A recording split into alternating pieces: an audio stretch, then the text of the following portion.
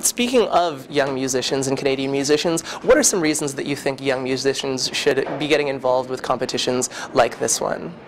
Well, I think it, competitions are very, very useful because uh, the musicians have to prepare so much for them. You know, they're working super hard to get all the repertoire ready for, the, and there's a certain pressure. I, th- I don't, it, you know, you can think of it as bad pressure, but I think of it as good pressure if you approach mm-hmm. it the right way.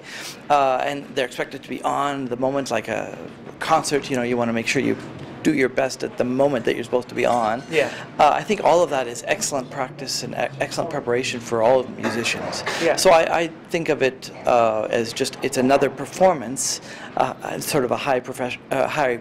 Uh, pressure performance, perhaps, because you're being judged, but it's a performance, and you want to make sure you give your all at the moment. And the preparation involved is, is really critical and very good for the musicians.